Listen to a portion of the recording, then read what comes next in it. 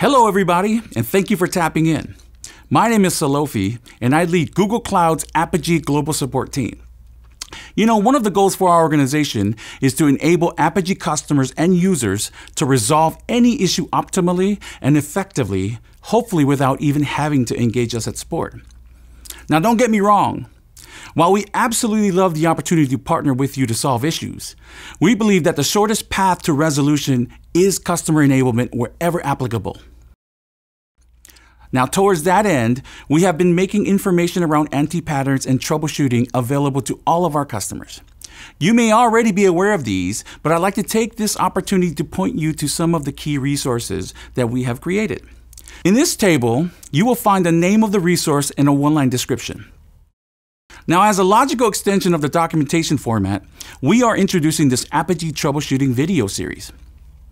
In the adjacent table, you will find relevant information on the topics that we have currently launched in this series.